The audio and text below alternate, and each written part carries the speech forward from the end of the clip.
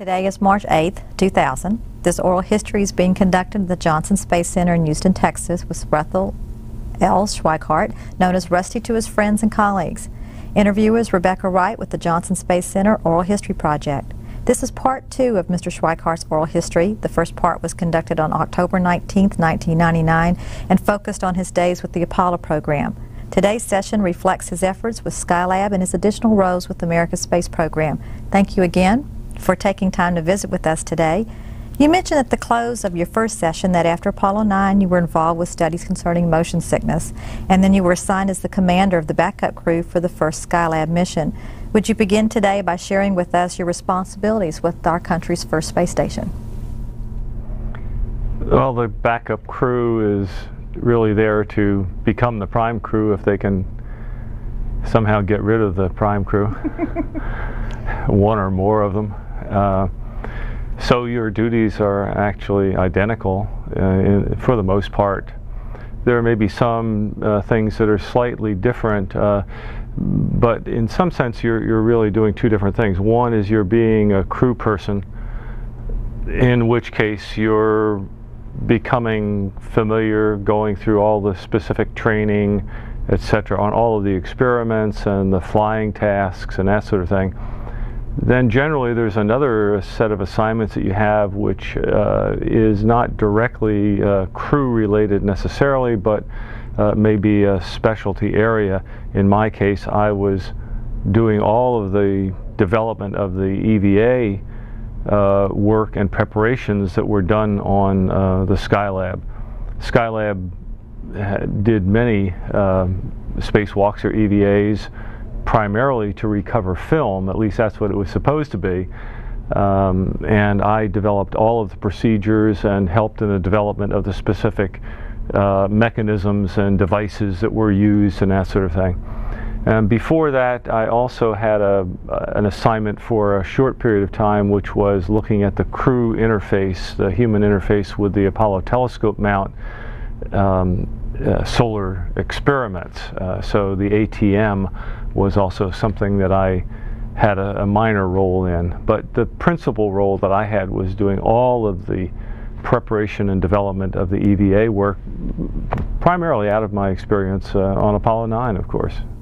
Of course, you were working with the spacecraft that was the latest state-of-the-art technology. Uh, Skylab was partially new, partially it wasn't. Can you tell us if there were any difficulties or concerns going through that transition that you had to uh, get adjusted to? Well, I don't know about difficulties, but there were certainly major differences between Apollo and Skylab. Um, now, of course, the command and service module were used to get up to and back down from the Skylab, so let's let that go. That, that was identical. But in the laboratory itself, uh, we were dealing with totally new systems and to some extent a very different philosophy uh, in design and operation of a spacecraft. In the Apollo, there was no attempt at all uh, of enabling the ground to control the spacecraft.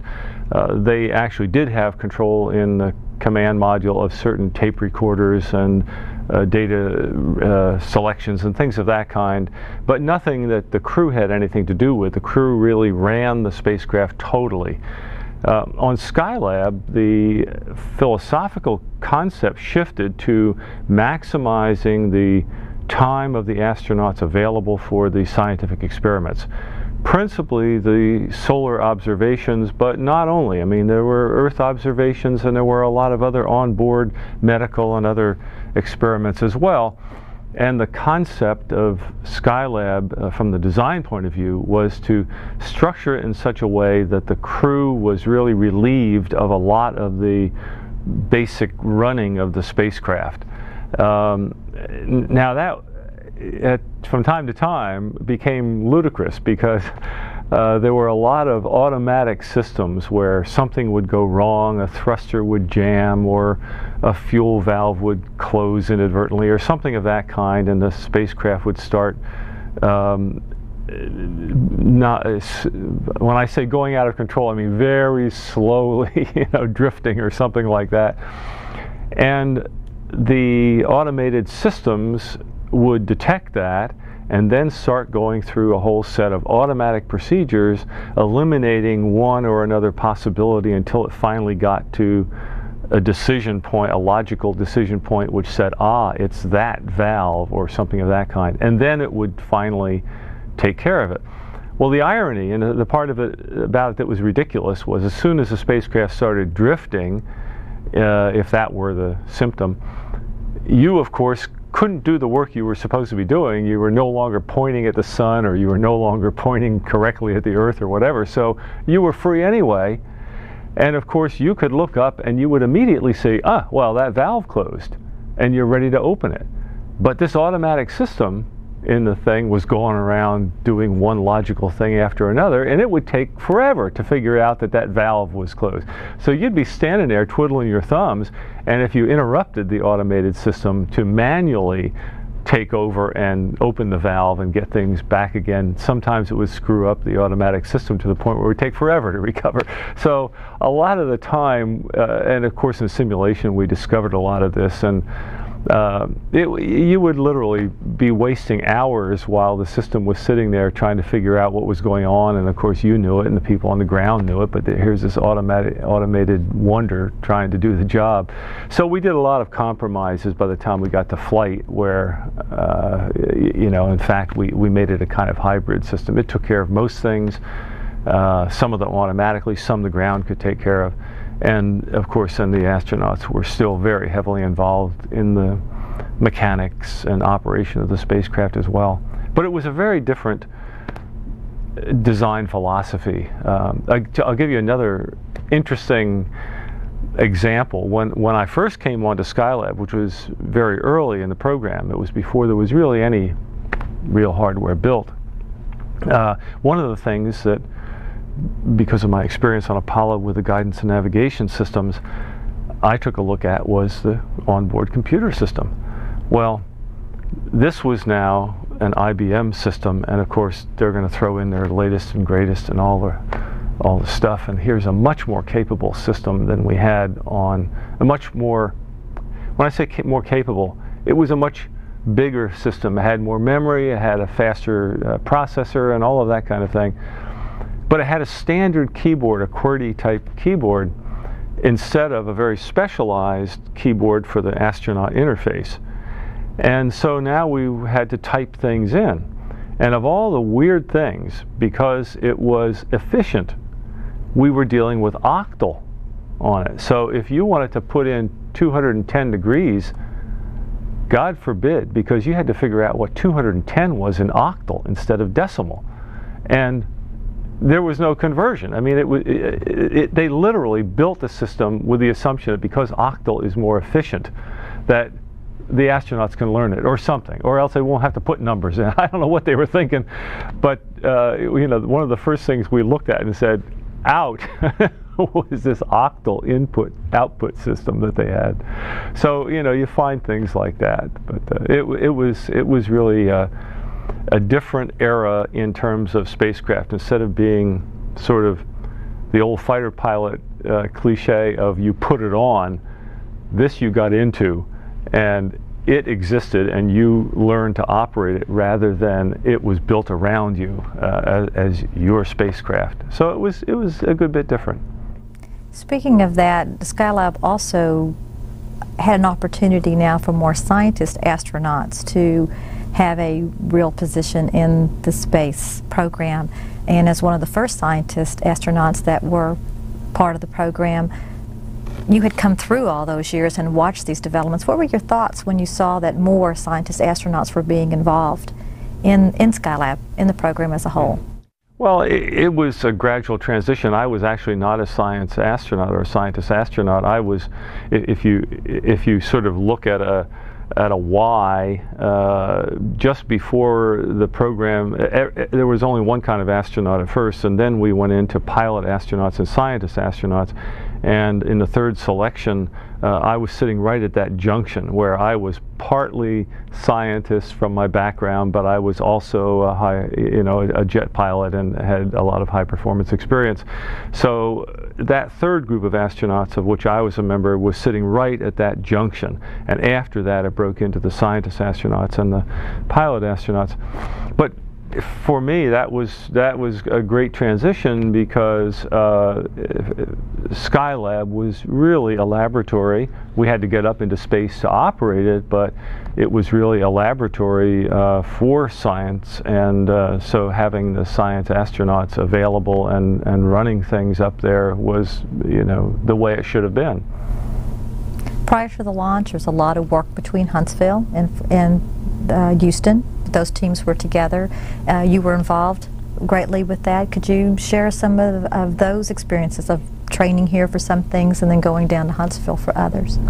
Well, I probably spent more time at Huntsville than, uh, uh at least up until that time, any of the astronauts because the EVA development work that I did was done in the neutral buoyancy tank, and at that time, the only neutral buoyancy tank of any size was in fact in Huntsville. It was a very large tank. I think it was, if I remember right, it was 75 feet in diameter and 50 feet deep or something like that. And um, essentially the whole uh, laboratory, the whole Skylab and Apollo telescope mount were immersed in, in the water and that's where I did all of the EVA development work. So I spent a great deal of time over there um, in Hunts Patch. It, it was very, it was a different environment from Johnson Space Center. And of course, at that time, uh, Wernher von Braun, I think, was still running it, if I remember correctly. He may have just moved to, to headquarters, uh, but I can't remember. It was right in that same era, and uh, th there was a great deal of awareness of Huntsville versus Houston. Uh, the Marshall Space Flight Center was viewed here at the Johnson Space Center almost as if it were, uh, you know, trying to crowd in on uh, manned space, and uh, and they weren't welcome. And uh, I mean, there was there was real inter-center rivalry, and it was palpable. Um, I felt it perhaps more than many others because of my my role with the EVA development. I spent I don't know, a third of my time uh, or something like that over in Huntsville, and a heck of a lot of that underwater. I, I, may still have moss between my toes from all that time underwater. Uh, you know, most of it in a spacesuit, but a lot of it in scuba uh, equipment so that you didn't have to go through all the rigmarole with a spacesuit. But I spent, you know, hundreds and hundreds and hundreds of hours uh, underwater over there. Okay. Well, from what the history books have said, the first crew did go up. The backup crew was not able to replace on Skylab, so uh, you weren't able right. you weren't able couldn't, to accomplish that. Couldn't break Pete Conrad's leg, so no, and, and uh, he got to fly. He got to fly, and uh, the Skylab launched on May 14th, 1973. But 63 seconds into the flight, the shield accidentally deployed and tore loose from the station, and taking one of the Skylab's two solar panels with it and then a piece of the shield wrapped around the other panel, preventing it from deploying. When did you aware? When did you become aware that this had happened? Were you there to, to hear that relay in, or tell us about that time period? Well, I, I, I don't recall it specifically, but there's certainly no question I was down at the Cape uh, for the launch of the laboratory. The, the crew was going to be going up, I think, four days later. Uh, so I think I was at the Cape. I doubt seriously that I was here or in Huntsville. Um, we uh, we learned about it immediately. Uh, that I mean, as soon as it happened, you, you, the, the, the telemetry indicated that there was a serious problem at 63 seconds. There were glitches that were evident, and then uh, as it entered into orbit uh, and the deployment of the solar arrays was to have taken place, uh, it became pretty evident that there was some really bad damage that had been done. It made it into orbit. Uh, certain things worked, but other things didn't. And uh, I can remember there was there was no indication at all of power from the one solar array on the workshop. The other one uh, had this sort of trickle of electricity which was varying slightly and when finally when we got to see that that solar array was actually partially deployed but held there by this piece of debris um, you could see that the, there was sunlight occasionally getting into the still folded arrays but enough to generate a trickle voltage. So uh, we were aware immediately that there was a serious problem. We were aware quite early that the thermal shield was gone or seriously damaged because the temperatures inside the laboratory were going up quite rapidly. Uh, the solar array took a little longer to figure out what was happening there, and until we actually got up there in flight, we didn't know for certain but there were some very high power photographs that the military was able to take which seemed to indicate that the one array was partially opened but that there was still an array there. So we had an idea and, and I think all of that was well within 24 hours but the, the thing which within a matter of a few hours became evident was that we were going to have to do something to try and shield the laboratory from direct solar radiation, which was raising the temperatures very high.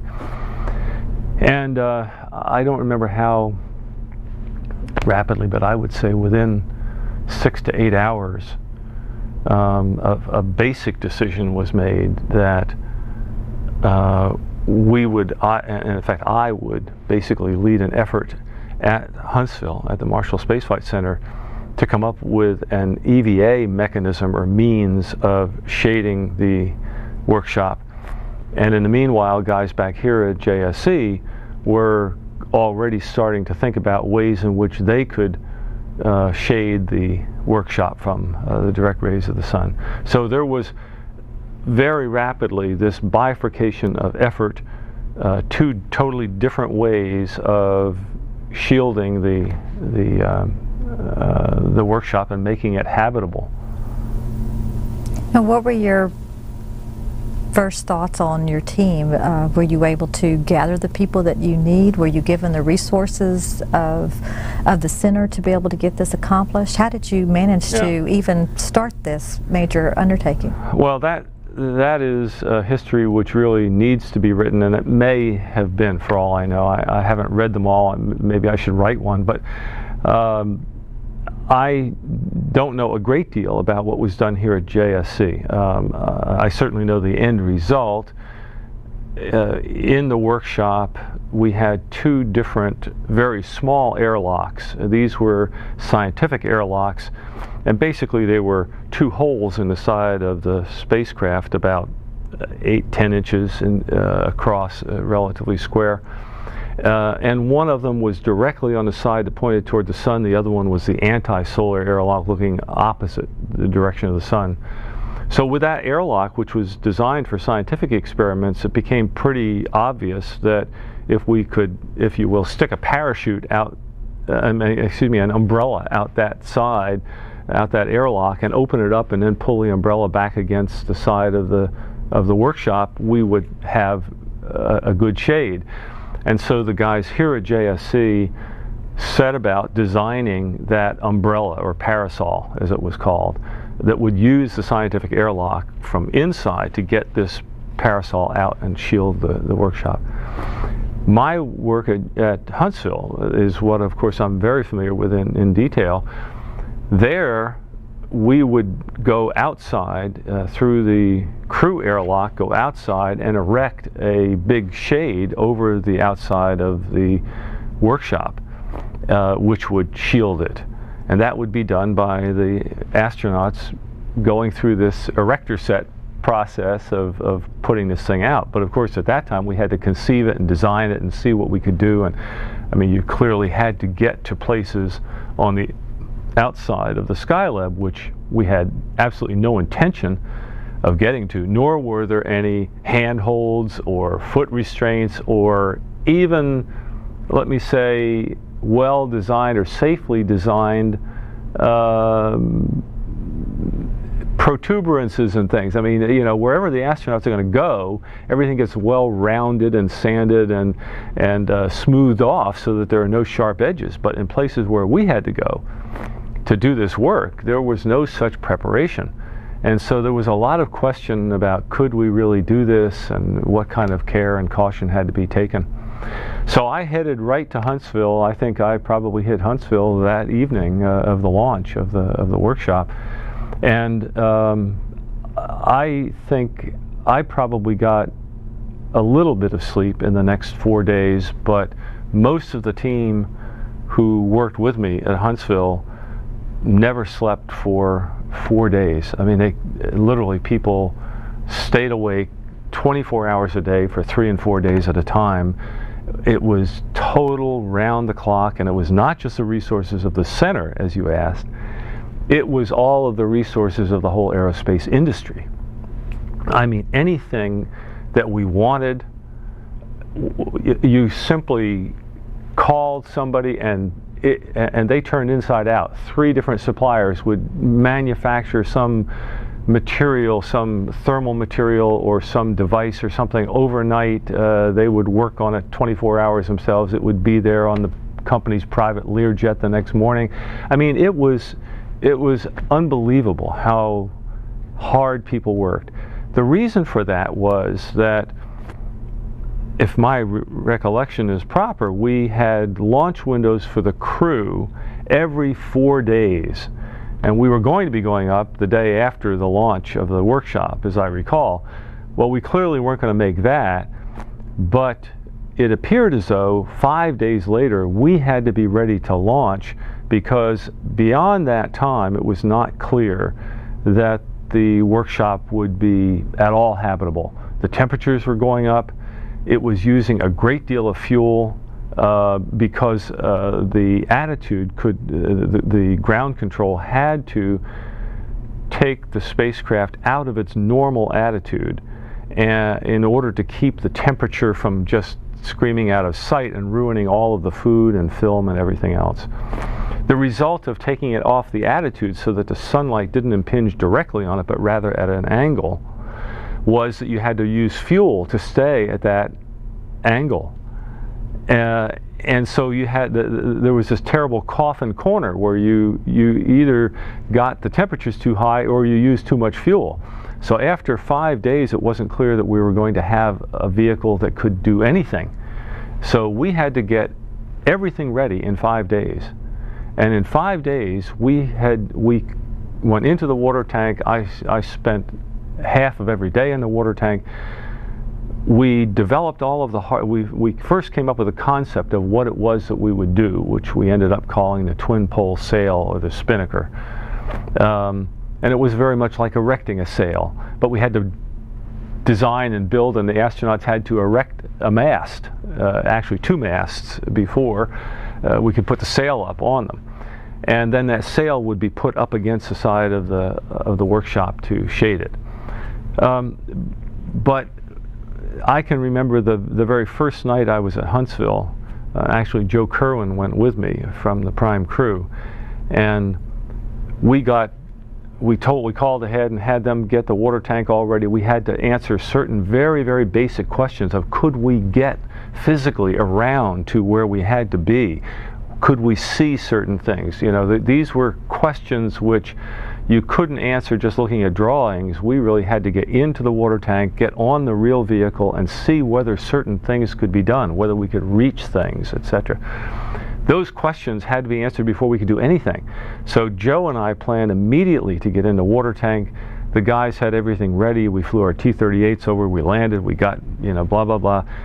I remember we were literally partway in the water up to our waists and a telephone rang on the, on the console at the water tank and it was Deke Slayton and he told the guys there to get the he, he said what are they doing? And, he, and the guys told him that well they're halfway in the water. Schweickart's in up to his waist and Kerwin's about to get in or whatever it was. And Deke said tell him to get out. And so the guys hung up the phone came over and said Slayton says to get out of the water. And I said, I don't care what he says. We're not, I'm not getting out of the water. We've got to answer these questions. He doesn't understand. Let's go. So whether Deke called back or whether somebody called him, I don't know. We just kept going. And uh, I was then up to here in the water, getting weighted out and various things. And uh, he called back and uh, you know said, "Get out, get out of the water." And I said, "Give me the phone," you know. So I came out to my chest, so I could hold the telephone. Took the helmet off. I took the telephone, and we had this long conversation. And it, and the problem was somehow related to the fact that the networks, uh, the television networks, had gotten word that we were doing this. Uh, over at Huntsville, of course, everybody was starved for what was going on, who was doing what. You know, they wanted news naturally. So uh, somebody had heard about it, and there was somebody who confirmed that yes, there were a couple of astronauts uh, getting in the water tank or something like that. So apparently they were coming running out there with all their microphones and television cameras, and they were going to record this stuff. And and somehow either Deke didn't like it or headquarters didn't want that to happen or something. But at any rate, the word came down: get out of the water tank. We don't want you there. When you know, we don't want the press to get to get this. And I said, Deke we've got to get answers. We got four days to build this whole thing. I said, we've got to get answers. Uh, we didn't have this conversation. Bye. And I handed the guys the phone. We hung up the phone. We went on. We got the answers and got out of the water tank. And the media never did show up. I don't know whether they kept them off at the at the at the gate or what. But in any case, it, it never got there. And Deke never said a word, and headquarters never said a word. But I mean, that was a kind of craziness that was happening. And uh, so uh, we, we, got out of the water tank. I can remember that. Um, uh, it was probably uh, 10 o'clock at night. Somewhere I've got a photograph of this, but some. Uh, but we got up in the briefing quarters afterward. Everybody was there, from I guess the deputy center director at Huntsville, all the guys who did all of the development work, you know, the mechanical stuff, the uh, the crew systems people, et cetera, et cetera. Everybody was there in the debriefing room. And um, basically, I stood up at this whiteboard. There wasn't anybody else who could do it. I mean, I, I didn't, nobody appointed me to do it, but there was, somebody had to do it, and most of the things were heavily crew labor oriented, so there was no question it had to be really one of us or somebody who represented us. There wasn't nobody there. So I stood up at the whiteboard and we just started organizing it. You know, we, we can do this, we can't do this, we can see this, we can't see that. Uh, here's here are several options. It looks like we could try this, we could try this, we could try this. What do you guys think? We had a big discussion, and one by one we eliminated things. And by about midnight, I'd say after something like two hours of this discussion, we basically had the outlines of what we were going to do we started making assignments of who was going to do what. And uh, that started that process. And as I say, within four days, we had these uh, sails, uh, the, the, the, mast, if you will, uh, these uh, rods that were probably a, uh, a, meter or a yard long each, and there were probably 16 or 20 of those that had to be screwed together, and pulleys on the end, and ropes, and we had this thermal multi-layered thermal sail that then had to be erected and tied off and all of that and tested in the water to make sure it could all work and a mounting plate at the bottom which had to be designed and built and hooked on and uh, all of the procedures of how to get it out there and space qualify it and vacuum pest it and all of those things. I mean, just on and on and on.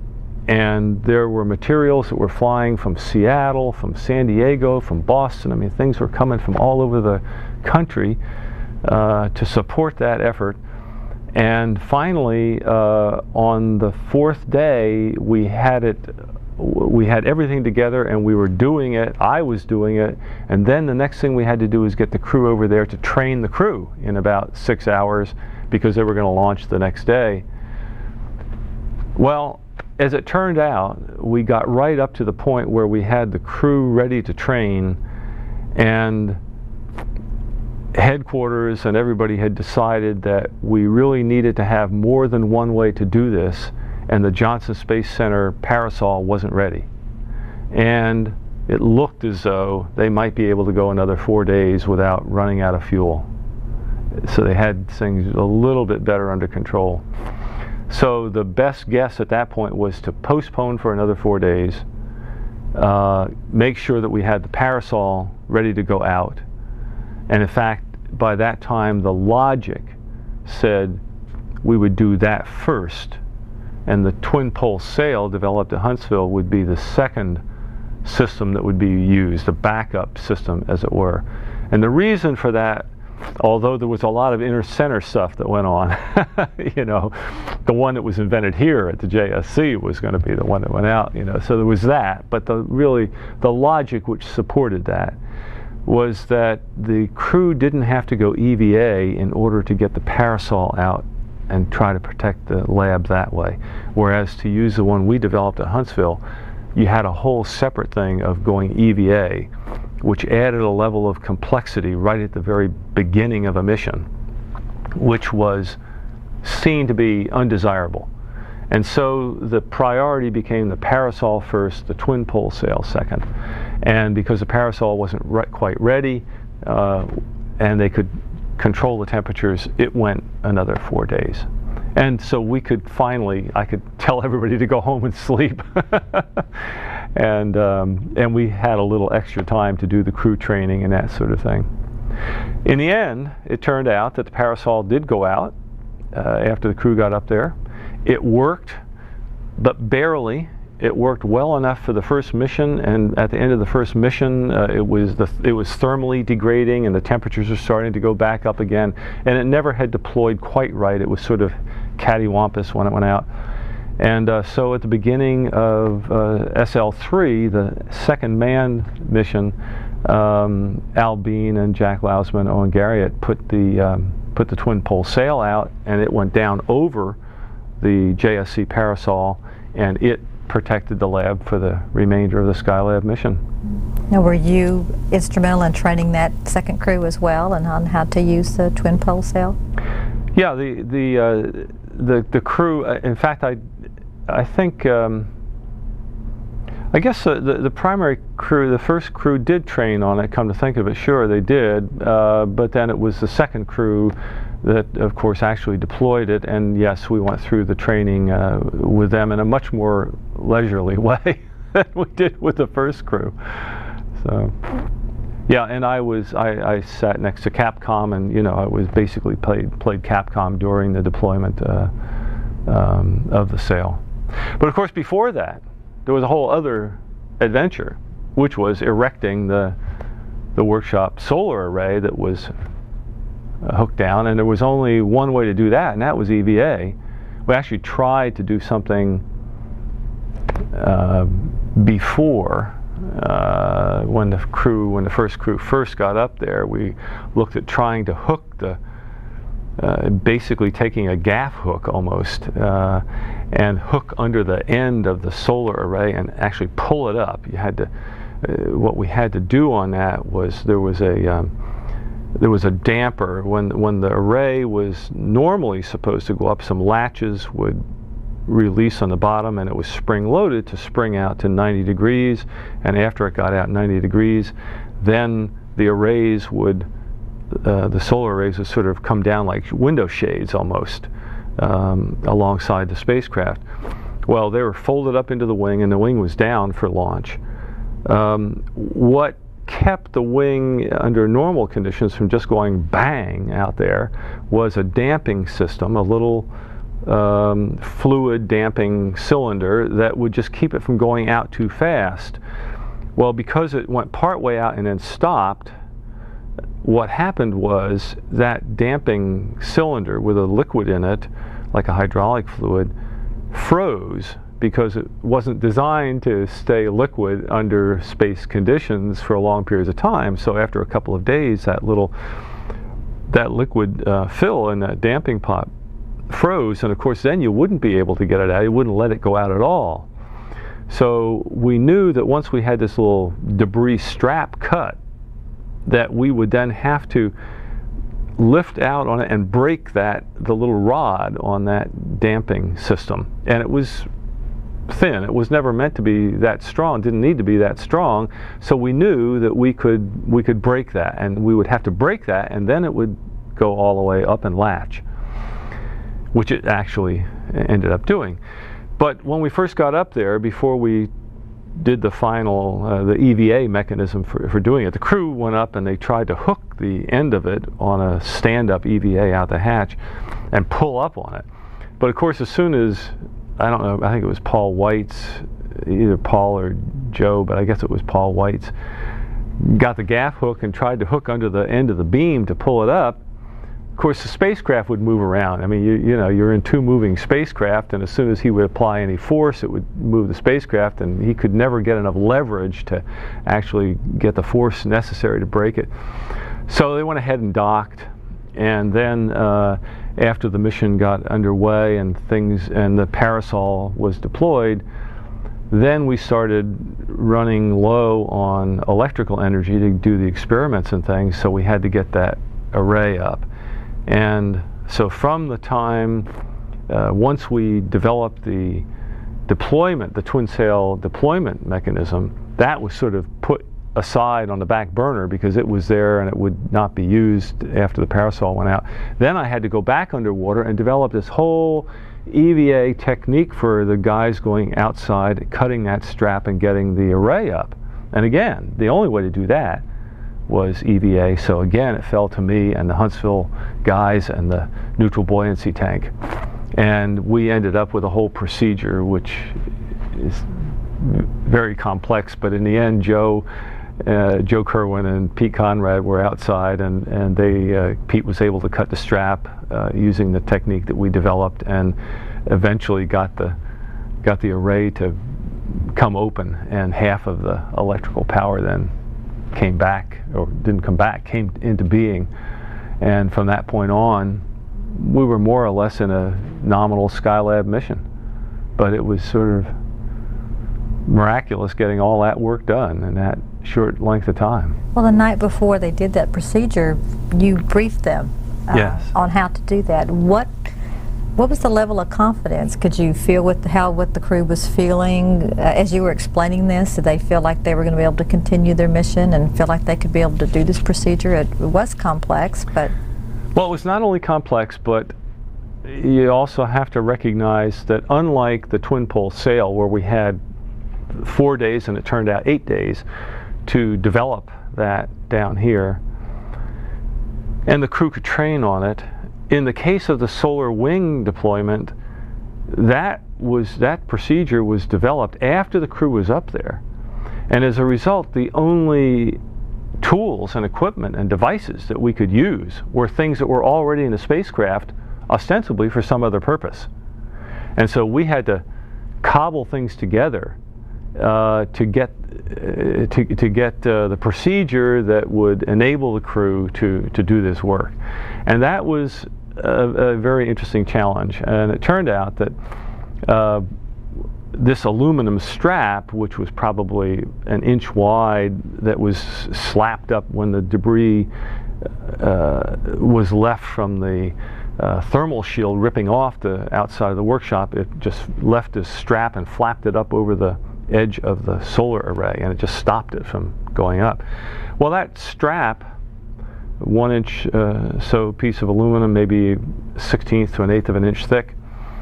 We cut through that. You couldn't bend it off. I mean, it was, obviously had sharp edges and all sorts of things. So we really didn't want the crew trying to manhandle it and just rip it off and cut holes in their gloves or something. So we had in the medical kit a bone saw, a bone for for emergency medical purposes only, of course.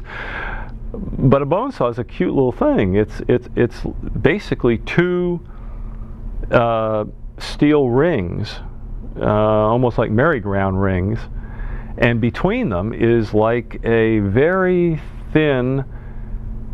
It's a wire. It's a high-strength steel wire, but with teeth wrapped around it, uh, and uh, so it's like a a, toothed wire and fairly flexible. And in fact, when you store it, you just wrap it up in a circle and it collapses to almost nothing. But you take it out and it, it, ends up being, you know, a foot and a half or so with this flexible wire between it, and you put that around a bone normally, and you go back and forth and, and saw your way literally through a bone if you have to cut somebody, amputate somebody's leg or something.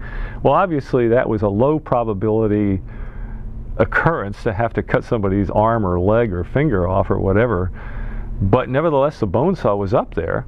And so we tested it, and sure enough, that little sucker was plenty sharp enough to cut through aluminum. And so we had several other things that we tried first, but they didn't work, frankly. And so in the end, uh, the, the bone saw was there, and I had the most confidence in that anyway because it was the most mechanical. It, you know, it was most straightforward. Everything else was a kludge. So sure enough, Pete ended up with the bone saw, got it around the aluminum thing, and just went back and forth a few times and cut right through the aluminum, and that was the end of the strap. Then he had to erect it, and there we had a uh, a, rope that we had uh, with some hooks on it that we had for EVA, and we hooked those things into a piece of the array, and then Pete had to stand up and and uh, leverage um, using that rope, leverage the uh, array up and break that little rod. Well, the problem was that Pete didn't tie the rope the way I anticipated, the way I planned that he would, and that the way I thought he would naturally do it because Pete's a sailor. And I assumed he would tighten that rope up and then tie it off. Well, instead, he started tightening from the end. He started wrapping from the end rather than pulling it around and wrapping that way. So when he wrapped from the end, as he got as much as he could, he still had some slack in the rope. It wasn't taut. So when he stood up to lift up that rope, Pete, being a fairly short fella, got the rope up and there's like no tension in it. so there was no force being applied to the wing. Well, he obviously realized, he didn't realize why. He thought it was a bad procedure that I had developed. And of course, I didn't know what he had done, so I didn't know why there was this slack in the rope either. We were both a little bit in the dark. But they figured it out because all they did was they, get, they got Joe Kerwin there, and then Pete climbed up Joe's back and then lifted it up. And of course, it, the beam suddenly popped up and Pete went flipping off into space but still holding on to the rope so they burst out laughing and the whole thing turned into a big laugh fest but the, the array came up and the solar uh, arrays came down the arm came up and the arrays went down and we had power so it was great but that of course was very interesting because the whole procedure was developed while the crew was up there was developed on the ground over Huntsville in, in, in the water tank. And we then had to write that out in a way that was understandable and that they could kludge everything together. And it was a lot of cooperation and you know a lot of confidence my confidence in them their confidence in me in terms of developing a procedure like that um, it was it, and it worked well and because of it we uh, you know, ended up with a great Skylab mission after that. Yeah, those first two weeks were a little busy. Just a little. it was certainly a lot of unplanned manual labor in EVA, and I'll tell you, out of that, uh, we developed a tremendous amount of confidence in the EVA capability of humans in space. Before that, you know, there was still the legacy of problems with EVA during Gemini. And Apollo, of course, made a big difference, but that was running around, except for my mission on Apollo 9, that was sort of running around on the surface on, in gravity again. So here was EVA of a massive scale in weightlessness that we never anticipated did it with flying colors. Everything worked just fine, never had a problem, and uh, saved the mission. And so there was a lot of confidence in the astronaut's ability from that point on to do things during EVA. And um, thank heaven, because the space station is going to need a lot of it. I know we were talking previously, you mentioned, uh, we were talking about the of course, the problems of the batteries going down and why the solar arrays were so important. And you mentioned some of uh, other techniques that Mr. Conrad used, I believe, by uh, trying right. to get a battery started in his own way. Would well, you like to share that story with us? In spite of the fact that we had the solar arrays out now, uh, as time went on, after the second or third week, I guess it was somewhere in the second week, we started seeing some of the many batteries were no longer charging and building up their proper charge. And as a result, we were beginning to run short. At first, it didn't bother people, but then more and more of them started this. I think we ended up with three or four batteries that uh, where the uh, where they were not charging. And this was because of clearly a problem, although not so clear what it was in detail. Nevertheless, it was relatively clear that it was a problem with the battery, a thing called the, the battery charger regulator module, if I remember right. Uh, and this module, which did the battery charging, um, had a lot of relays and all kinds of stuff in it. We see, one way or another, we got a lot of them working, but I remember that there was one in particular which uh, was not working. The guys did a lot of analysis, and they finally figured out that they really limited it down to one thing, which was in one relay in a particular place physically in that box, which is about like that, there had to be a solder ball that was a piece of debris left over during the manufacturing that was keeping two relay contacts from closing. And the only way to get that solder ball out of there, and they they did a tremendous analytical job to figure that out, that that was the only possible thing that could give all the characteristics that they were measuring. The only way to get that solder ball out of there was to physically jar it out.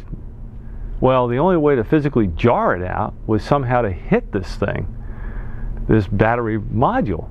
But of course, it's on the outside of the spacecraft.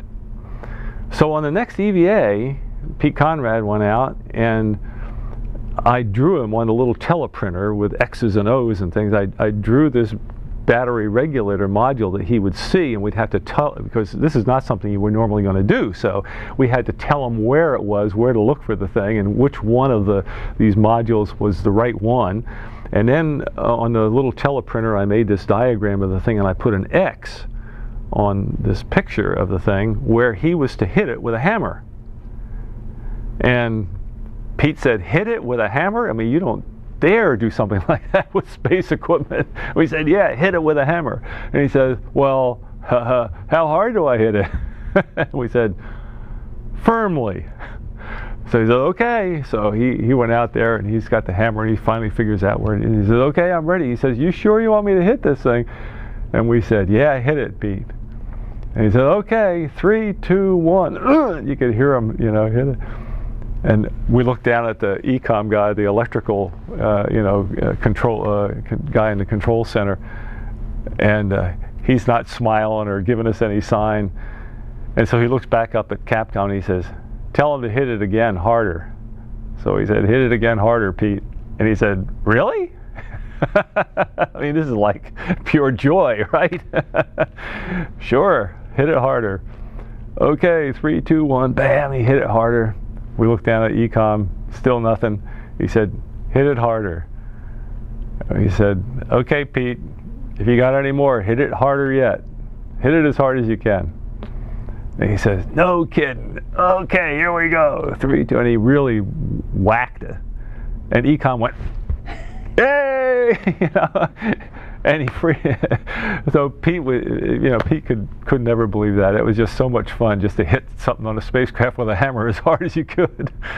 So there were little things like that, you know, that were that made uh, all of the, the work enjoyable and uh, and fun. And of course, uh, it, it's great when there's that whole combination all the way from the detection of a problem through going pouring over blueprints and figuring it out and all the analytic stuff and figuring out what happened and which relay and then you know having this kind of a solution and a, and a crewman go up there hitting things with a hammer and it, and it makes it work I mean and everybody everybody felt wonderful as you can imagine and the press of course loved it as well so I'm sure there was a, a great amount of relaxation after all the tension for the first two weeks and the rest of the mission went smoothly.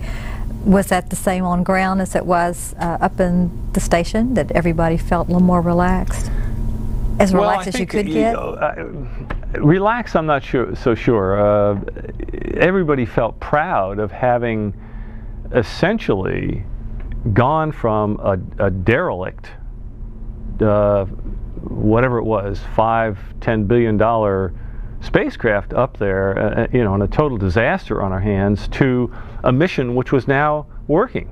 And from everything we could see, once we got the the, the regulators going, the solar array up, and the, the, the, thermal shield out, even though on the next mission we put the other one out, um, we could now see our way going to the end of the Skylab mission as planned. We had enough electrical power, even though we missed one solar array, if things didn't fail too badly, it looked like we were going to be able to go for the whole thing.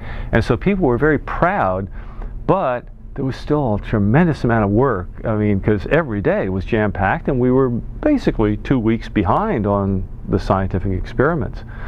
So there wasn't a great deal of relaxation, but there was sure a lot of pride and teamwork, and uh, everybody felt really good about it. And of course, by the end of the Skylab mission, we not only got done everything that had been planned, but I think somewhere around 130% of overall science that had been planned uh, got done. So it was it was terrific, and it was a wonderful experience. Now, were you busy with the uh, Skylab 3 crew uh, during the last part of the Skylab 2 mission, trying to get them uh, ready for the procedures on the EVA? Right. And, and uh, what else were you doing at that time, or did that take up most of your time? Well, once the Skylab 3 was trained on the EVA, then I fell back into uh, more or less uh, routine support type of activities. I think during Skylab 4, for example, I don't recall having any real contribution to that. Um, uh, all of the real uh, unusual demand. I mean, my normal job would have been over essentially once the first crew launched and was up there because I was a backup. Uh, ours was a backup crew for that first mission, and um, and then there was another backup crew for the next two missions. So uh, actually, uh, instead of relaxing immediately after the launch, we had all of this work to do, and that basically lasted through the launch of the second manned mission. Uh, but once that was done, then finally, uh, basically all of my special efforts were behind us uh, at that point. And so and I could watch it. and, and, somewhat relax, I guess. Yeah. You mentioned too that you had worked uh, with the Capcom were, was that just for the first man mission, or were you also on hand for the second and third man missions as well with the Capcoms during Skylab? Well, principally during the twin pole sail deployment on the second man mission. And, uh, but once that was done, then I no longer uh, worked with the Capcom. I, I, worked with Capcom principally because of the procedures that I had developed in the tank over at Huntsville. I, I was also there, I think, during at least uh, the first of the EVAs for recovery of the film and you know the normal EVA work that we expected to do. Uh, but the crews were very well trained on that, and there wasn't uh, there wasn't a great deal. So I, I don't know whether I uh, was there during the third man mission EVAs or not. I can't even remember. I was probably on call, but I don't think I even sat uh, there during those EVAs. Well, where did your roles take you next after Skylab? Your involvement with Skylab uh, was uh, very much a vital one uh, for all those EVA procedures, and plus more. And then, of course, you were still with NASA. So tell us where you moved on to next. Well, at that point, I was looking at what options did I have, and one of the options, of course, was at that point to go over to the space shuttle uh, development work, which was underway quite well underway actually. A lot of the guys coming off Apollo went onto the shuttle work. Um, and so that was uh, more or less the normal path. But frankly, by that time I had, you know, done a lot of work on Gemini and a support role, and then of course everything on Apollo, and now all of this on Skylab and to go cycle back into the very beginning of the space shuttle uh, which was not going to fly for, at that point, something like six years, and best guess of anybody in the business was maybe eight years. I figured, you know, another eight years of basically going to the same kinds of meetings, making the same kinds of decisions, going to the same places, you know. I mean, it was like been there, done that, and I was more interested in developing management skills, having some idea what managing an operation was like, budgeting, testimony before Congress, all those things which were necessary to have anything happen in NASA, but which the astronauts were normally not connected with at all.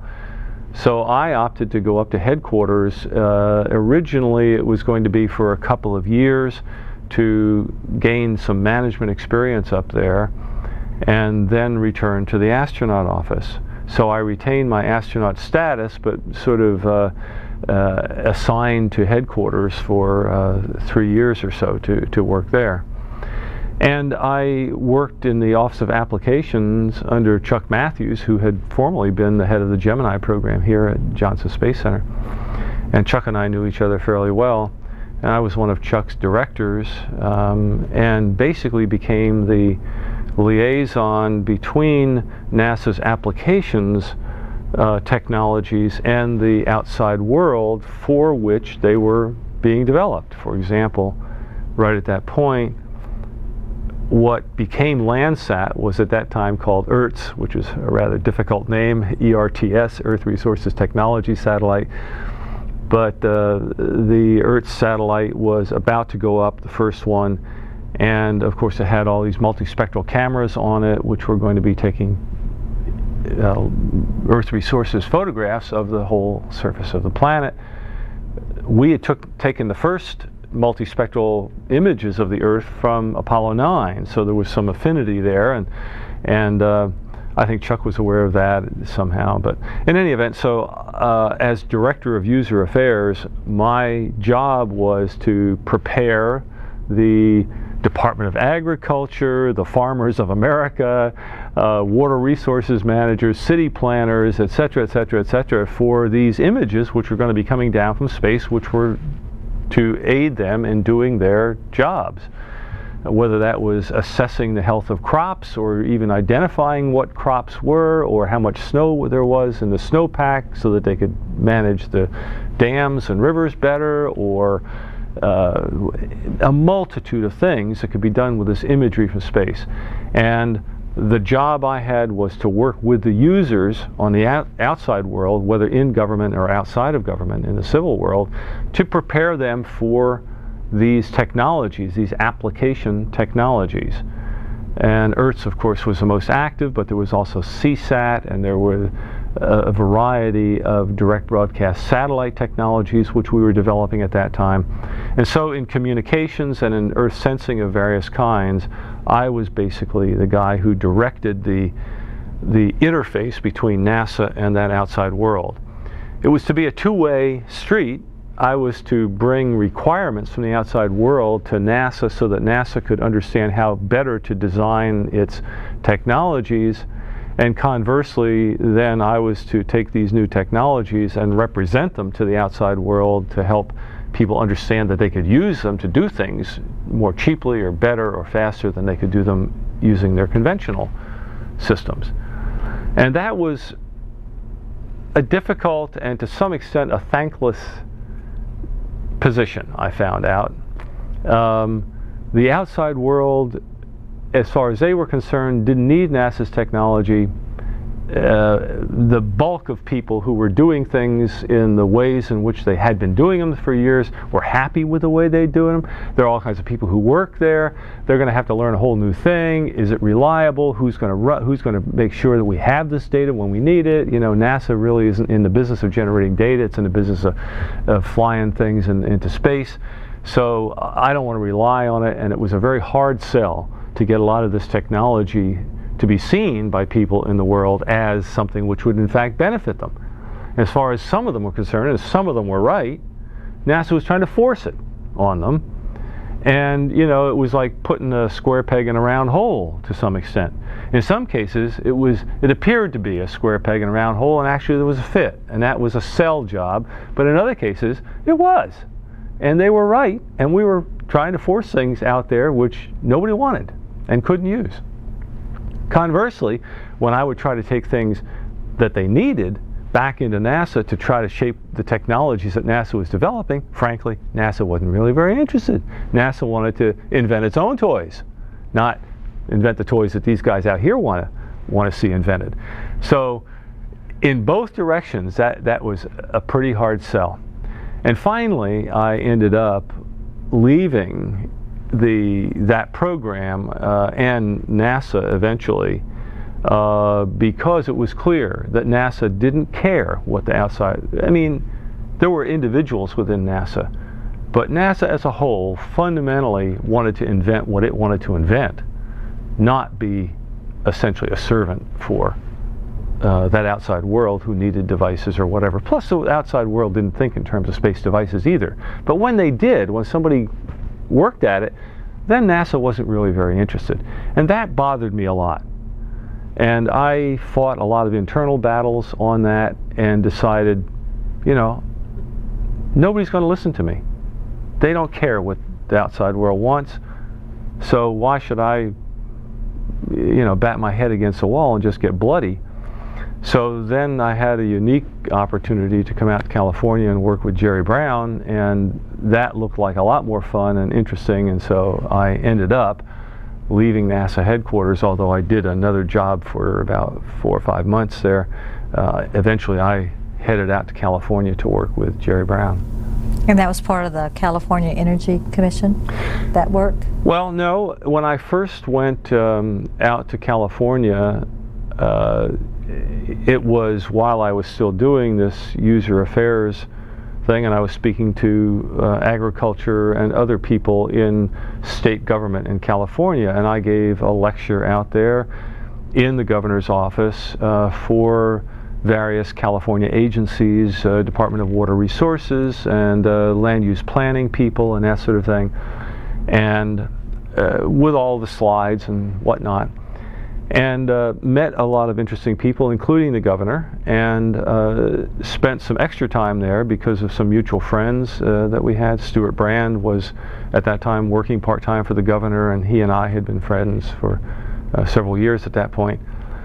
And uh, so I spent several weekends out there in California, um, uh, almost full time with the governor, who really knew very little about space, became quite fascinated with it. I mean, he had, it was something like sports or athletics, and astronauts were athletes. You know, they're they're interesting to watch on the tube when you got nothing else to do, but they're not. there's nothing much there.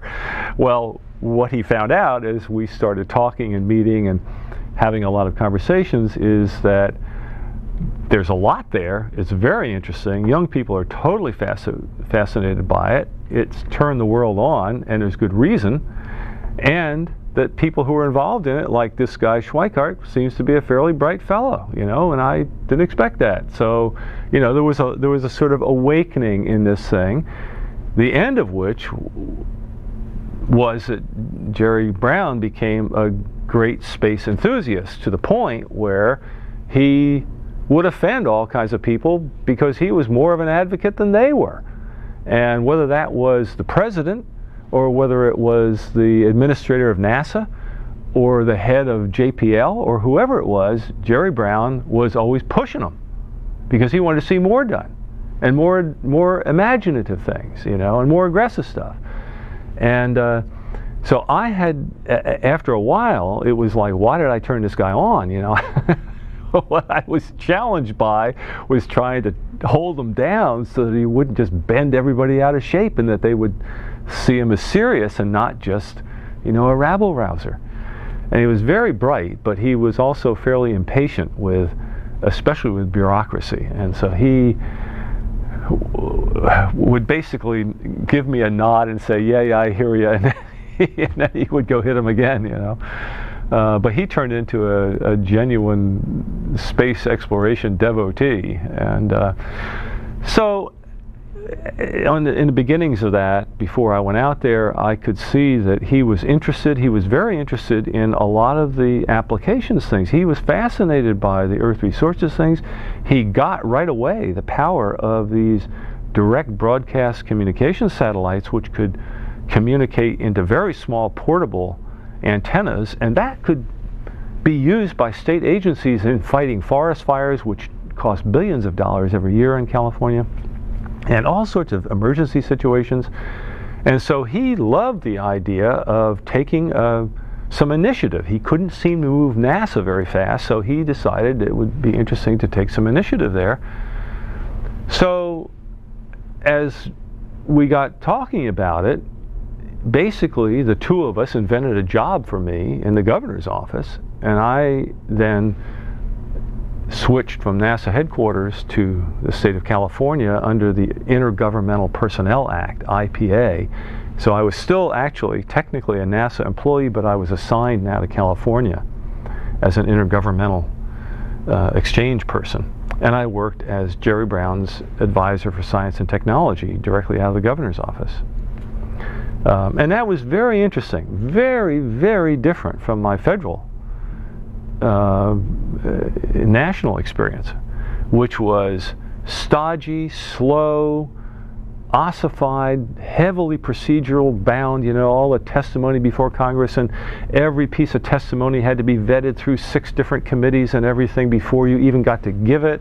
Somebody would ask you a very logical question unless it was already cleared at NASA headquarters, you couldn't answer it honestly. You'd have to give the, the company answer. I mean, it was, you know, it was very, very heavy control sort of stuff. And uh, on the other hand, state government, it was especially under Jerry Brown. I mean, it was freewheeling. It was, you want to do something? Great. I'll sign off on it. You're in charge of it. Go do it. And two days later, is it done yet? You know, why not? Can I help you? You know, what do you need? A week later, did you get it done yet? You know, well, if you're doing something big, it's like you know, you're talking years, uh, even under the best of circumstances. Well, everything was just go, go, go. You know, it was you're in charge, make it happen. And that was a very, very exciting environment. Uh, and it's the way Jerry Brown operated. Now, on the other hand, he couldn't manage anything or anybody. I mean, he was a very, very poor administrator, but he was a good leader in that sense. Um, if you wanted to do something and you convinced them, uh, then it was go do it and uh, it was a very exciting. And that was going on in environmental issues, in energy issues, in in space. In in our case, we developed. We ended up with a California satellite, and that went along for a long way. And uh, it was going to be a very exciting program. And there were a whole bunch of other. Uh, state and federal agencies involved in it at first, and one at a time they all dropped away, leaving only California as a user of this satellite and it was a cooperative three-way deal between NASA and Hughes with their new flat spinner and us with the payload to go on it. And it was it was a good deal, but in the end, uh, it got axed because of the infamous Prop 13 in California. Just as we were coming up to the final votes uh, in the state legislature, and there was a lot of joking around. You know, it, it, was it was on the one hand taken seriously by a lot of people, and other people who treated it like it was a joke. You know, Jerry Brown's space program. Uh, it wasn't at all. It was a really imaginative state use of space resources, space capability. But it was be, because of the nature of Jerry Brown and and the fact that I was there to some extent. Uh, there was a potential for making a joke out of it, and so there were, people were trying to capitalize on it. So it was a lot of back and forth. But we would have pulled that funding off in the legislature that would have been required to go through with it. But then Prop 13 suddenly got all this momentum of relieving property tax in California and Howard Jarvis and all of the rest of it. And um, uh, I can remember one night late in the legislative session, it was clear that if Prop 13, that, that Jerry Brown was going to have to give up some of his favorite programs in order to get anything passed at all in the legislature. And the question is, what is he going to give up? I mean, the legislative process is like sausage. You know, maybe you want to eat it at the end, but don't ever watch it being made. And I mean, that's just exactly what it's like.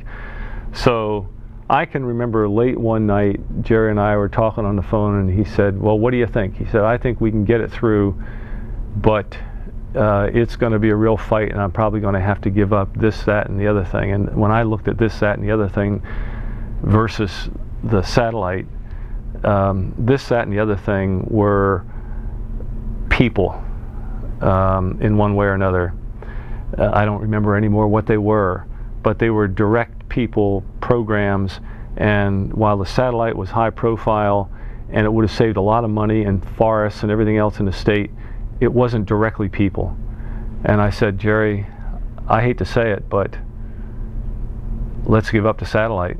and keep those other programs. I don't think that's a trade-off that we ought to make. And we said, oh, well, I mean, it was reluctant on both of our parts. That's what happened. We gave it up. Those programs went through. Prop 13 went through. Um, but that that was the end of the California satellite. so. Well, you kept uh, moving along with all of the uh, your space-related adventures. Uh, in '85, you formed the Association of Space Explorers. Give some background on why was that important to you and who your members are. Well, I was, uh, as we just left it, um, uh, up until about August of 1979, the uh, science and technology advisor to the governor. Um, around August or somewhere in that ballpark, August or September of 79, the second oil crisis hit.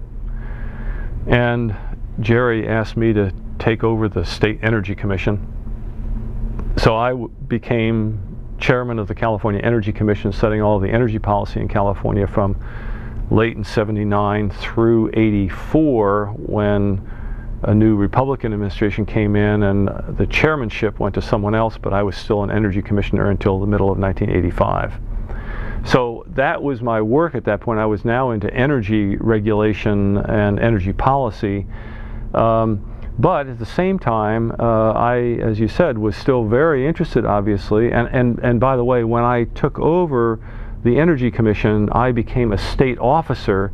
To become a state officer, I had to no longer work for the federal government. So my NASA career actually ended two years after I got to California when um, uh, I left NASA in 79 and, and became a state employee uh, and, and, then an officer of the state.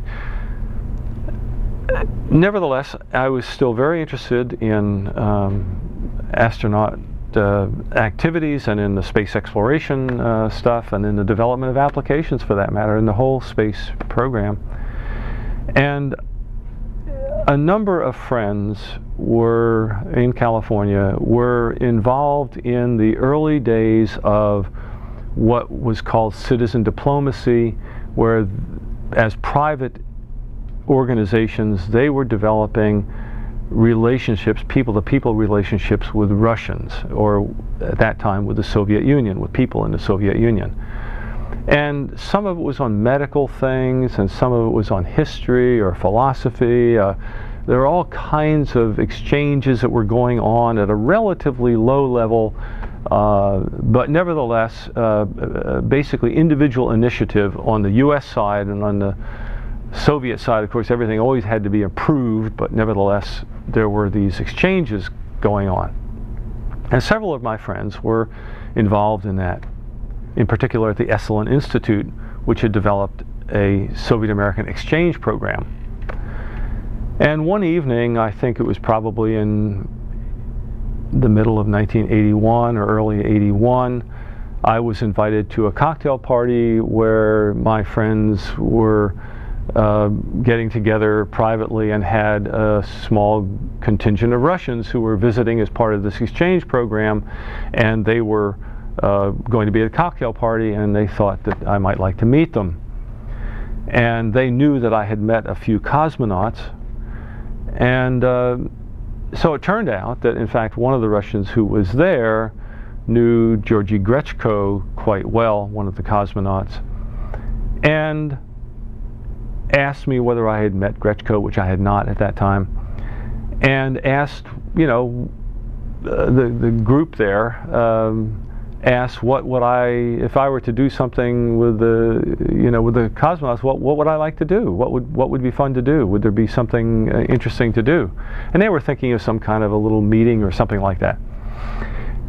And I had always been interested in the concept of people who had flown in space getting together, which from time to time we did, but almost always in either a technical conference, uh, you know, the annual meeting of the IAF or the AAAS would have something, or, you know, there'd be some kind of a conference or a, something going on for a week somewhere, and a cosmonaut would be there and an astronaut would be there, and they'd meet and they'd go apart. I mean, it would, it would be that fast, click, click with the light, with flash bulbs, and then go and uh, or it would be at a cocktail party and you know hail fellow well met kind of thing and and again end of cocktail party end of end of game.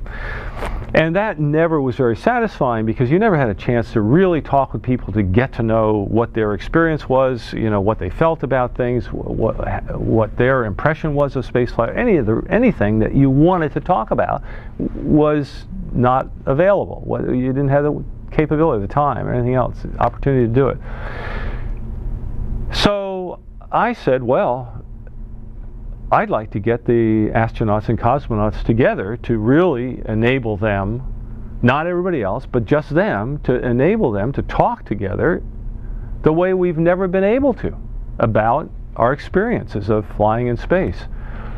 Everybody loved the idea. And the original thought in my mind was that we would have a kind of uh, one-time meeting of astronauts and cosmonauts, civil, you know, sponsored, not government sponsored, but uh, sponsored uh, by individuals or privately sponsored.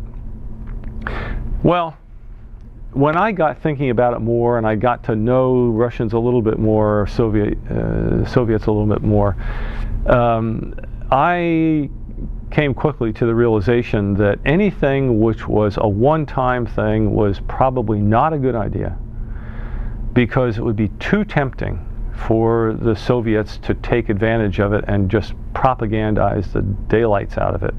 I mean, there was no cost to them to do that. So I realized that the only way to have anything serious happen, which where that would not be the case, would be to have something that was ongoing and then when we first got together, they recognizing the long-term benefit of having astronauts and cosmonauts together, you know, they wouldn't start trying to, you know, capitalize on it right away. I mean, I knew that they would, but you know, they wouldn't immediately, you know, turn it into a fiasco.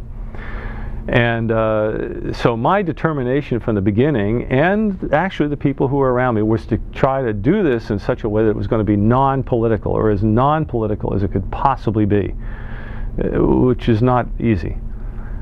Um, well, uh, to make a long story short, what we ended up with is coming up with the idea of an organization of people who had flown in space, which after a number of choices became the Association of Space Explorers and of which now 90% of everybody who's flown in space is a member. But in those days, it was anathema. I mean, that initiative of mine to form that organization, and we can talk a little more about the way in which I did it, but basically that initiative to form that organization was seen by many people as Schweickart being a commie pinko, you know, turncoat. Uh, the word traitor occasionally even came into use in some people who didn't, you know, know what they were talking about. Um, and uh, it was in the days when Ronald Reagan was making his Florida speech about the evil empire and anybody who had anything to do with the Russians, and especially when it was not sanctioned or controlled by the government, was highly suspect. And I came right into that, into that assumption. And a lot of the astronauts reacted that way.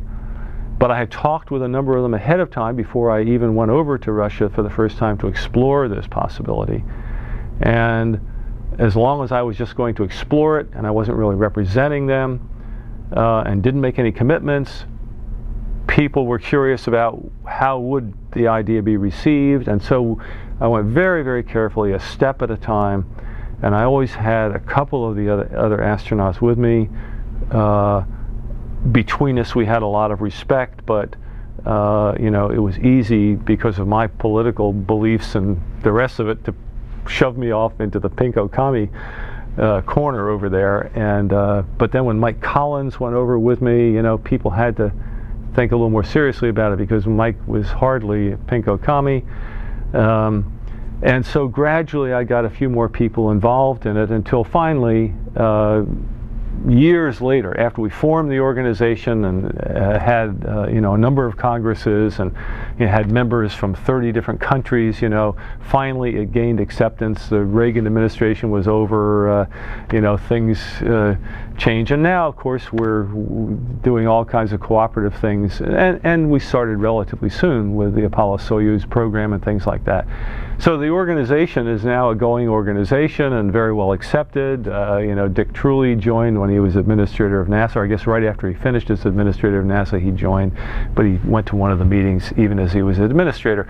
So it, it, it made a big turn, but it was, uh, I was persona non grata uh, at NASA by the NASA administrator, and it was a very difficult time for me um, that bias and that prejudice because of me taking that initiative was not subtle. It was a very, very personal and hardball um, blackballing by NASA. It was very interesting. And especially as you mentioned, we're doing so much of a partnership with them now that yeah, it's sure. like a time you were before your time. Well, I, you know, I, while it hurt, in very real ways, including economic. Uh, inside, I knew sooner or later we were going to all be getting together, you know, and working together again. Those things cycle. Uh, so I was basically willing to take the heat. And uh, gradually the environment changed, and then, of course, the membership expanded, uh, and it became quite acceptable. Um, but uh, to imagine that we're living in this historic time when people first look back on the earth from the vantage point of space and to have this very limited number of people who have that privilege and that opportunity and the responsibility to bring that experience to the rest of the people of the world. And to imagine those people not being able to get together to talk about that experience among themselves was ridiculous. It was stupid. It may have been politically right or whatever, but it was stupid in the historic context. And so I just, you know, I tend to operate that way on the big picture in spite of my own self interest. And um, so we formed the Association of Space Explorers in 1985. I mean, we worked at it for three years before we finally got it uh, going. Uh, and now it's a going organization with about 300 and some astronauts and cosmonauts from 30 some countries, um, an annual congress, and you know a lot of exchange of communication and things. Um, and I'm, I'm, I'm delighted that that uh, you know I stuck with that and and worked it through. And I'll tell you, it was not easy, a lot of hard times. But um, you know, a lot of good people helped, and um, we got the job done. well, talking about your travels, I understand you've traveled to the end of the Earth. Uh, would you like to talk to us about, uh, about the time that you were with the Antarctic Safety Review Panel and what your duties were with that? Well, in 1977, I moved back to Washington, D.C. from California uh, because my um, significant other was back there, uh, now my wife, and um, I moved back there to basically to be with her and ultimately to drag her back to California. And uh, uh, so while I was there, I went back into federal service and ended up with a job uh, for the National Science Foundation, uh, which actually emerged uh, in a strange way out of the space program. Uh, the National Science Foundation happens to be responsible, it, it is the U.S. government agency that is responsible for all U.S. activities in Antarctica. And while people uh, participate in that from universities and cor private corporations and other government agencies, uh, nevertheless, the running of the program, the operation, the funding of it, all of the rest of it, the whole operation is done by the National Science Foundation Office of Polar Programs.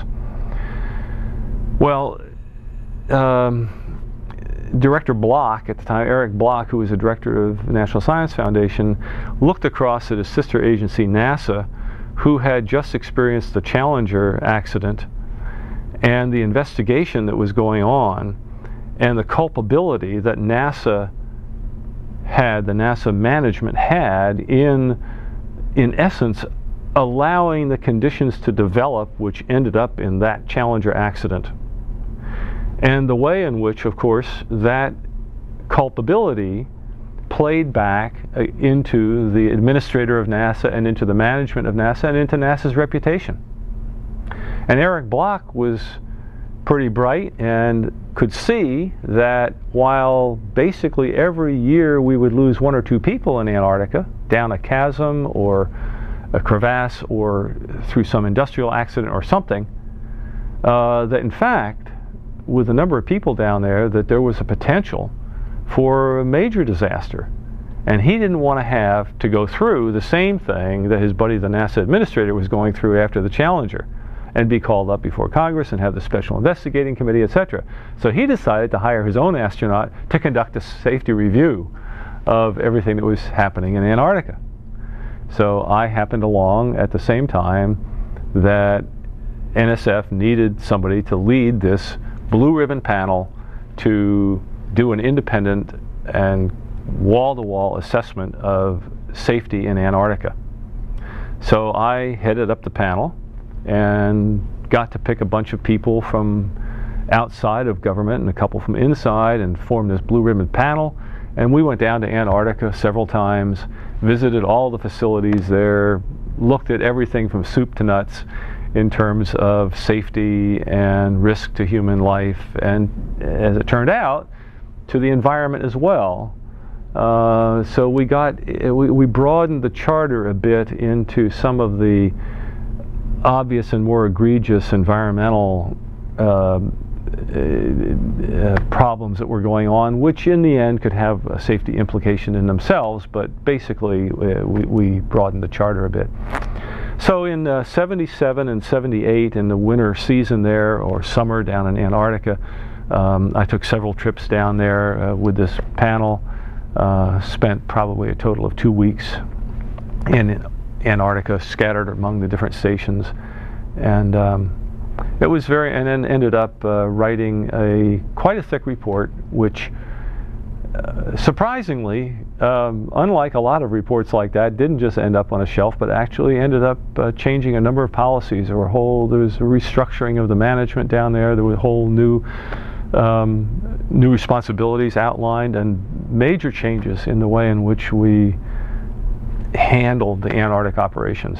And they're, you know, it's still a risky environment, but hopefully a bit safer. And certainly from the environmental point of view, a lot cleaner uh, now. Interestingly, I had the opportunity because of that experience to participate again in 1996 in another panel that was set up by the National Science Foundation and the Office of Science and Technology Policy, uh, this time to look at replacement of the aging South Pole station, the Scott Amundsen station right at the South Pole. And the question was, you know, should we be putting the money into this?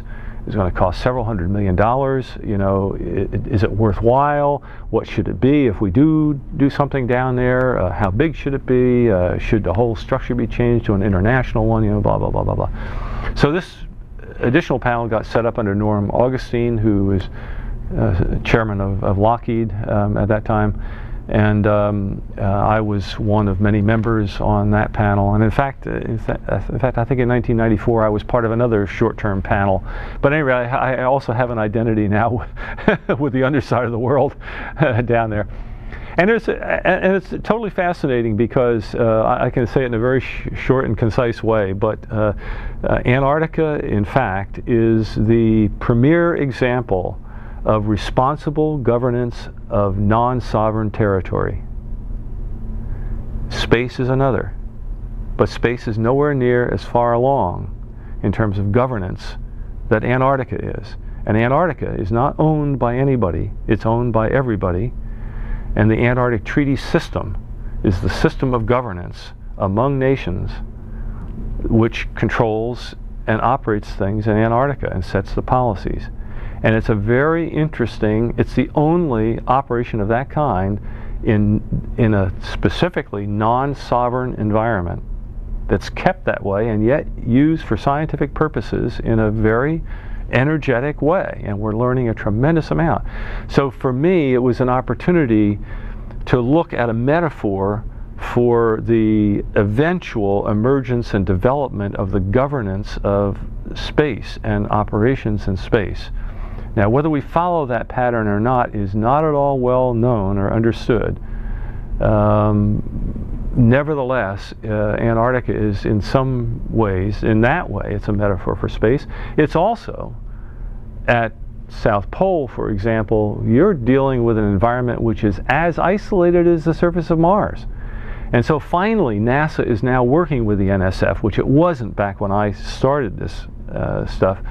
And I didn't have a lot to do with that, but it still uh, encouraged it. But finally, NASA is now working quite actively with the National Science Foundation in the analog of Antarctica and operations in Antarctica for operations on the surface of Mars or other places uh, of that kind. And there's a lot to be learned. It's, it's a very interesting place. Since you mentioned Mars, do you have thoughts of how NASA will pursue its uh, exploration into the future? What, what are your thoughts on what, uh, looking past over these many, many years, and you certainly have had a unique perspective of seeing all the ends of the Earth from all different uh, angles. Yeah, I almost got to the North Pole, but I got up to the North Slope of Alaska. That's as close as I got oh, with my blue ribbon panel to show them operations. from looking down and looking above. So. Right. But, uh, well, uh, in interestingly, or maybe not interestingly, uh, my involvement in the debate about how to get to Mars, whether you go to the moon first or set up a base there, blah, blah, blah, all, all of the issues of getting humans to Mars is something which I have not gotten terribly involved in. And while in an academic way I'm interested in it, and it's certainly going to happen, and I have great confidence in that, I'm really less interested in that specific operation than I am in other, let's say, longer term, uh, larger, more philosophic uh, issues of space. So I have not really gotten very much involved, and I don't have a feeling even worth expressing in terms of what I think the best way, uh, you know, to go about this is. What I am interested in, and um, working today in developing, is uh, trying to bring to people, and in particular young people, um, the tremendous excitement of discovery that's going on now of the extent and origins of life. And by origins, uh, I mean both here on this planet and other places, even in our own solar system where life may have originated. And the extent would include not just the broader extent of life here on the Earth that we understand today in thermal vents, in volcanic vents, in undersea environments, beneath 11,000, 12,000 feet of ice uh, in Antarctica. I mean, life is in places we never imagined it being, and in varieties and in conditions which we never understood life could exist before. And of course, all of that has a direct bearing on our understanding of the robustness of life and the diversity of life, which then can also exist in environments in space, which we don't normally think of as being life supporting. So, that whole issue of how did life originate, where did it originate, where today might it be, uh, is no longer just a matter of conjecture or speculation we now, today, and in the last five years, have discovered hard evidence of planets around other stars for the first time. We're finding more and more all the time. NASA is now committed to missions in space which are going to put up instruments which will allow us better resolution, better sensors. We're going to be able to see not just large planets, Jupiter sized planets around other stars, or not see them, but deduce that they're there, know that they're there, but also smaller and smaller planets until we we'll know for certain that, in fact, our solar system is not unique, that there are many, many solar systems. And if there are many, I mean, if there are any, if there's more than one, it's hard to stop before you reach something very close to infinity. I mean, there's so many stars and so many galaxies that, you know, once you go beyond totally unique through some freak accident, then you're right there with millions of other solar systems. And certainly all of the other elements uh, necessary for the formation of life, probably of intelligence, and even probably of consciousness. We're gradually beginning to see how these things, through uh, nonlinear systems dynamics, I'm talking about chaos theory, self organization in nature, things of that kind. We're learning so much right now, which seems to indicate that life, intelligence, and consciousness, probably in diminishing percentages, is built into the fundamental structure of the universe. And this explosion of knowledge is going on uh, today, and it's very exciting, and it has so many dimensions that whether you're interested in biology or mathematics or physics or spaceflight or uh, almost any kind of a science bears on that great period of discovery, which I believe we're going into. So I'm totally fascinated with that and uh, hope to communicate some of that excitement and opportunity to young people. We sound like you have many plans ahead of you that uh, might not be filled anytime soon. That you have your days will be not busy. too many because if you get too many plans, you never get anything done. so I'm, I'm, hoping to focus a little bit, but we'll see. Well, you've been able to accomplish so much in in your life, and as we move toward the end of this session, do you reflect back sometimes and and can possibly center on one major accomplishment that you're the most proud of? Not not a particular accomplishment. I, uh, you know, I, I, guess I my, my tendency is not to, um, you know, it, there's almost no accomplishment in human history that is really creditable to one person. Once in a while, something happens. Generally, what happens is everybody adds a little piece, and I'm happy to have added a bunch of little pieces here, there, and the other place. Um, and there's certainly no question about that. But um, I, I think in reflection, I would say that what has made my life the most interesting, although perhaps the, not the most lucrative or uh, the most publicly rewarding or acknowledged or whatever, but nevertheless, I would recommend it, notwithstanding the downsides associated with it. Uh, I've basically gone my way. Uh, if I think something is right, I'll, I'll, go for it. I'll do it. Um, it's just the way I'm built. This whole issue of fitting within a bigger structure, one has to do that. It's, it's not a matter of black or white. It's a, it's a matter of degree. Everybody has to fit to some extent within a structure or else you can't get anything done. On the other hand, if you fit too well and comfortably in it, you also don't get anything done. Uh, so there is a balance between um, being a bit of a, of a radical or a renegade uh, and working with the system. Um, and I guess I've leaned a little more than a lot of my astronaut compatriots in the, in the sense of, of going uh, with the individual initiative and, and doing it my way. And my path through life has not been straight. It's been a series of moving in one direction and another, always following something that was interesting and, in my sense, of values worthwhile, worth doing. And um, and I certainly recommend that to uh, to any young person uh, who's scratching uh, his or her head over how do you live life. Uh, but as I say, it's it, it, it gets uncomfortable from time to time, but but you know, it's also fun. I guess you've uh, took many paths since uh, I believe you described yourself once as a farm boy from New Jersey. Yeah. And uh, certainly have seen a lot and have done so much. And I guess thinking back on those days, you uh, Did you have plans when you were a young boy on what you wanted to do, and did you accomplish those, or did you just take all those different paths that led you where you are today? More the latter than the former. Uh, I I'm always amazed when I meet the occasional, uh, you know, 10, 11, 14 year old that knows what he or she wants to do. I never did. I think most kids never do.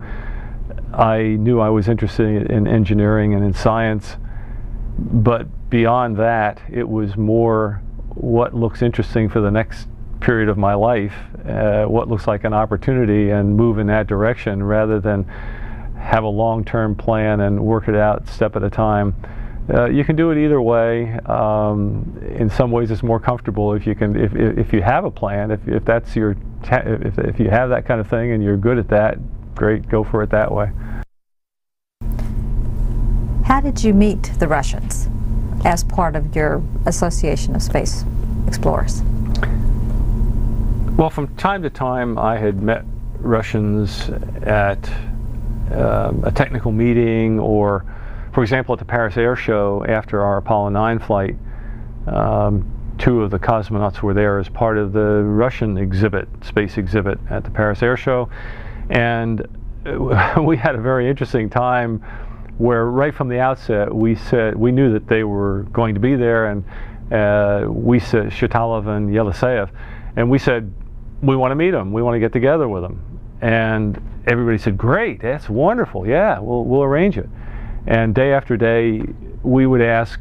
You know, when are we getting together with the Russians? And we're, trying to get it set up. And that went on for about three days or something. And then Jim and Dave and I at one point were sitting in our little room at, a, at the U.S. display, and we had just asked, and we got the same answer, and so the three of us kind of looked at one another, and I don't even know if we said anything, but we just got up and we walked out the front of the U.S. display, and we walked down the the open outside, you know, down the the what do you call it, the fairway or whatever, to the uh, to the Russian exhibit, and we walked in the front door of the Russian exhibit. We got about halfway there, and our U.S. handlers back here were saying, "Where are they going? Where are they going?"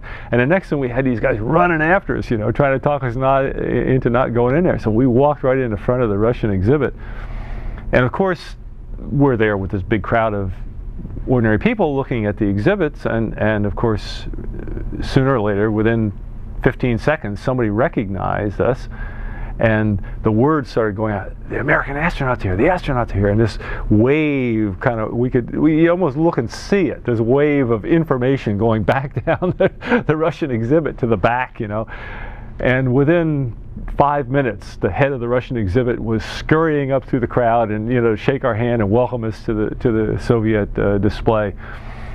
And uh, after that, the next day, the the cosmonauts came to visit with us. Um, uh, and then uh, the day after that, we went out uh, onto the ramp and had a great time in one of their uh, static display aircraft, uh, a small Yak 26 sitting on the ramp.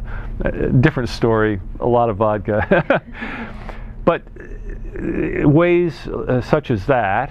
And then probably one of the most interesting, because I had met Sevastyanov, Vitaly Sevastyanov, somewhere. I think it was at a technical meeting. Yeah, in fact, it was at the International Astronautical Federation, the IAF. Um, and the two of us, I think, chaired a session. So I had met uh, Vitaly at uh, a technical session. And then in when I was on Skylab, and it must have been in 1973, I think, at some point, and I'm not sure when, um, it turned out that Sevastyanov and Shatalov were coming to the U.S. and I think the American, uh, the, the IAAA was acting as host, uh, the Institute of Aeronautics and Astronautics, uh, uh IAA rather, uh, and uh, Buzz Aldrin was going to act as their host. And he was meeting them in New York, and they were going to see a few things there, and then they were going to come down through Huntsville and through Houston, and I don't know, out to California or something. Uh, but for some reason, I don't even remember why. Um, but I, because I knew Sevastyanov and I'd met Shatalov, I met both of them, as a matter of fact, before. So I called Buzz, and I I was going to be at Huntsville, as a matter of fact, when they came through Huntsville, and I had been doing all of the underwater uh, EVA development, procedures development stuff. And this was very much toward the end of all that, so it was very comfortable and you know everything was pretty much cut and dried. But I called Buzz and I said, uh, Buzz, uh, we're going to have a private conversation here if you can tell me that it's in fact, with no question, private. He said, yeah. I said, okay. Uh, when you guys come down to Huntsville, I'll be. Uh, it'll happen. Uh, I'll happen to be there, and I will have just finished uh, some EVA stuff uh, from underwater, doing Skylab training stuff, and um, uh, I'd like to invite the cosmonauts to go underwater in neutral buoyancy in our neutral buoyancy facility in a, in a U.S. spacesuit. And he said, "Wow, that's a great idea." And uh, I said okay, I said, look, you're going to, and we talked about where they're going to be, and I was going to be showing them. I knew that they were coming, and the guys at Huntsville knew that they were coming. So we'd already talked a little bit about, you know, what we were going to show them and that sort of thing. I said, we're going to show you, we're going to be, you're going to be on a catwalk and blah, blah, blah, blah, blah. And, and we'll get all the way down the end of this catwalk, halfway up on the outside of the tank, of the water tank, and looking into a porthole on the side of it, and I'll be showing them things. I'll be pointing out things. And there's not room for too many people there. So you're going to be there, Shatalov's going to be there, Sevastyanov, myself, and probably one or two dignitaries are going to be there. And that's all that can really be within earshot. I mean, you can't get any more people there. And he says, okay. And I, I said, at that point, I'm going to say, oh, I'm going to go in tomorrow morning with one of you guys like to go in with me. And I'd like to know if I were to do that, are they going to say yes or no? And you never heard about this, but call me back. So Buzz called me back and he said, one of them's going to say yet, and the other one's going to say da. and I said, Sevastyanov's saying da, right? He said, yeah. I said, okay, you never heard this. So then I made one call, and I think even today, I don't think I'll say who it was. I made one call to a very close personal friend at high level at NASA headquarters. And I said, this is what I'm going to do. If, if you're, if you're going to tell me not to do it, fine. Otherwise, just hang up. We never talked. And the phone went click. Okay. So, sure enough, he brings them to, you know, they come down with Buzz Aldrin and we big entourage and we're showing them the water tank and all this stuff. We get out on this catwalk and just as I thought it would happen, you know, there was one or two high-level guys, one from NASA headquarters, in fact, I didn't expect to be there, and one very high-level guy right under the director of Marshall Space Flight Center, and then the cosmonauts and Buzz and me. And I'm showing them all this stuff. And then just spur of the moment, I said, oh, by the way, I'm going to go in tomorrow morning for just a quick check, maybe an hour or something like that. Would one of you like to go in with me? Niet, da. just like that. and all of a sudden, I mean, the eyes just got so big on these NASA officials. I mean, it was like, oh my God, he just invited them into the into the water, and they said yes.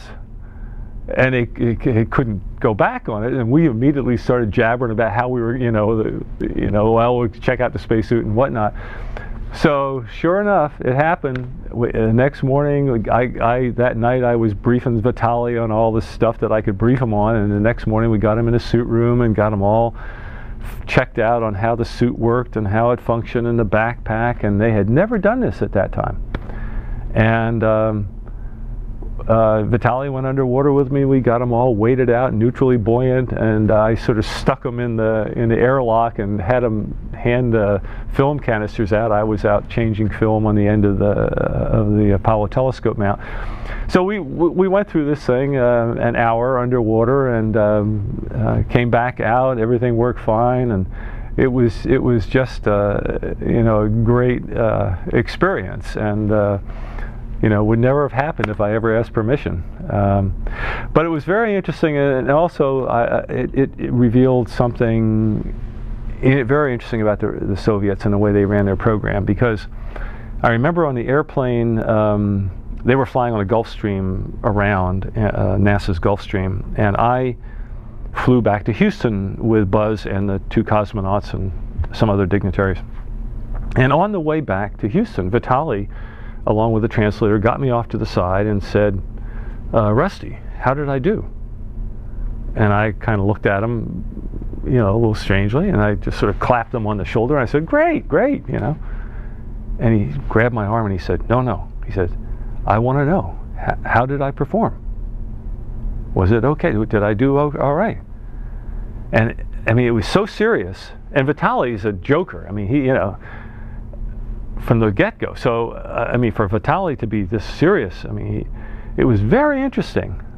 He really wanted me to grade his performance. And then after we were here in Houston, again at a party later that evening, he did the same thing. He got me aside and, you know, he wanted to know how, how well he did. And it was uh, indicative of that process that they are, they are evaluated and graded and marked and they take tests before they fly. It's, it was very different treatment. We our whole program operated on the basis that if you were selected as an astronaut, you were a responsible human being for your own life and for other people's lives. But somehow the, the cosmonaut program in those days at least, and I think even to today, still operates in this way where you know there's a very hierarchical structure and you pass or fail you take tests it, it, it was quite uh, revealing um, of the program. And then, of course, later, uh, several years later, they then put in their own water tank, and you know they realized it was a great way to do EVA simulations, you know, weightlessness simulations, and so they got a great big water tank at Star City, which I saw many years later. But uh, it was a very interesting little initiative that I took there on that. Well, yeah, and we're glad you shared that uh, first international partnership underwater with right, us, so that we can we can mark that. First cosmonaut ever in a U.S. spacesuit. So it was fun. That's great. Thanks.